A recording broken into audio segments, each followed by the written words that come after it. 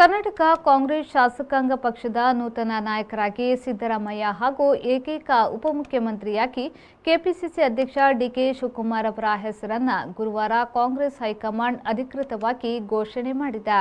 ದೆಹಲಿಯಲ್ಲಿ ಸುದ್ದಿಗೋಷ್ಠಿಯಲ್ಲಿ ಮಾತನಾಡಿದ ಎಐಸಿಸಿ ಪ್ರಧಾನ ಕಾರ್ಯದರ್ಶಿ ಕೆಸಿ ವೇಣುಗೋಪಾಲ್ ಅವರು ಮೇ ಇಪ್ಪತ್ತರ ಶನಿವಾರದಂದು ಮಧ್ಯಾಹ್ನ ಹನ್ನೆರಡು ಮೂವತ್ತಕ್ಕೆ ನೂತನ ಮುಖ್ಯಮಂತ್ರಿ ಹಾಗೂ ಉಪಮುಖ್ಯಮಂತ್ರಿಗಳ ಜೊತೆಗೆ ಕೆಲವರು ಸಚಿವರು ಕೂಡ ಪ್ರಮಾಣ ವಚನ ಸ್ವೀಕರಿಸಲಿದ್ದಾರೆ ಎಂದು ಹೇಳಿದರು. ಕೆಪಿಸಿಸಿ ಅಧ್ಯಕ್ಷರಾಗಿ ಡಿಕೆ ಶಿವಕುಮಾರ್ ಅವರೇ ಮುಂದುವರಿಯಲಿದ್ದಾರೆ ಎಂದು ಕೆಸಿ ವೇಣುಗೋಪಾಲ್ ತಿಳಿಸಿದರು.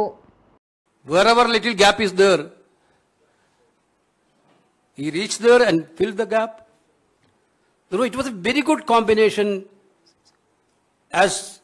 Shivkumar as a PCC and Siddaramaiah as a CLP leader.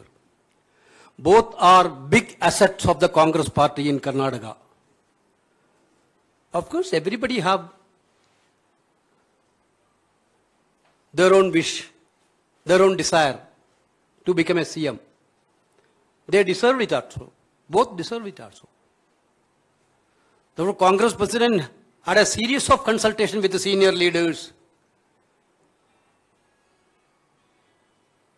and one-to-one discussion with the Siddaramaiah ji and Shiv Kumar. We are all the part of that discussions.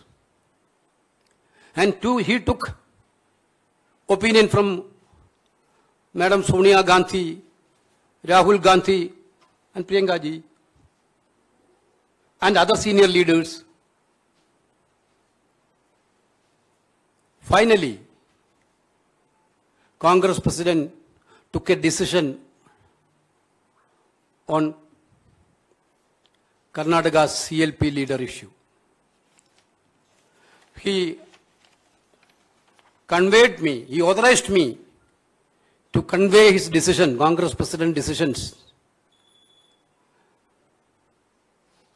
to the media, to, through the media to the people of Karnataka and the nation.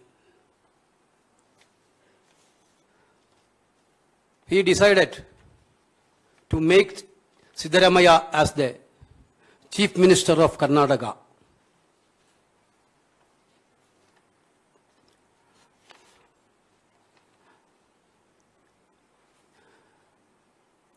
Siddaramaiah will be the Chief Minister of Karnataka.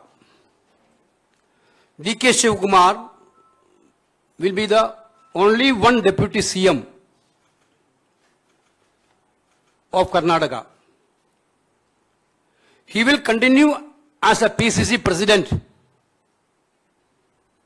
till the Parliament election is over.